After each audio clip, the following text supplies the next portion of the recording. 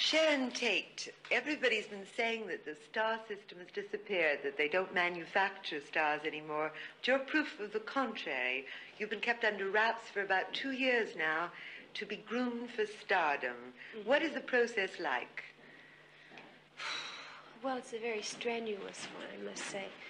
To begin with, for approximately three years, I've had no personal life, I guess you could call it. I've done nothing but study from 8 o'clock in the morning till about 6.30 at night. And then on three evenings out of every week, I went to a night class too. What were you studying? Well, I had acting classes, voice, singing, bodybuilding, everything. Absolutely everything. Which is necessary, you know. They didn't put you in front of a camera at all. Well, they did actually. I, my producer had a show called The Beverly Hillbillies, and they would slap a black wig on my head, and I would run out in front of the camera, you know, just to get used to it, because being in front of the camera and going to classes are two different worlds, entirely. And why did they put the black wig on you? So that people wouldn't recognize Wouldn't recognize you? me, right?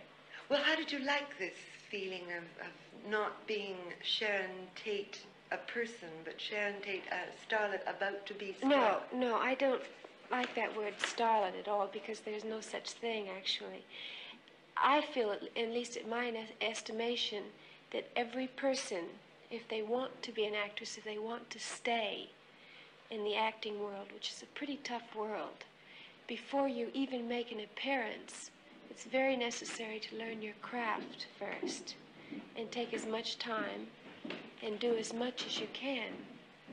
And so I, I, I wasn't upset at all. I was making myself prepared. You did never feel like a prisoner that you Never, wanted to not get out? really, not really, because I, I felt that if if you're serious about it, it's a lot of hard work. If not, you play and you get absolutely nowhere at all. Have you any idea what it is they saw in you, besides your obvious beauty, of course? What? This is a mistake I think most young girls make when they want to go into uh, an acting career. When an, a producer or somebody sees them, they have a fresh, natural quality that no one has touched. It's something that's them. And so when a person starts their acting classes or whatever, they get an idea of what I think a starlet is. And the hair goes up in whirls, the dresses, the clothes change, and unfortunately their whole personality changes.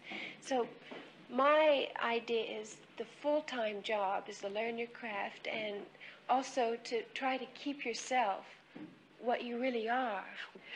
Some of the European papers have been calling you the new Marilyn Monroe.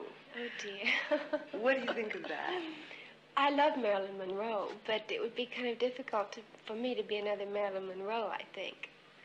Do you think No. you could you could ever become subject to the pressures that she became? Oh dear. In my estimation, that type of a sex symbol is really gone. You know, it's more imagination. It's sexiness to me is part of every movement. It's you don't see the big low-cut dresses anymore. It's more all to the imagination. I, I really have no desire.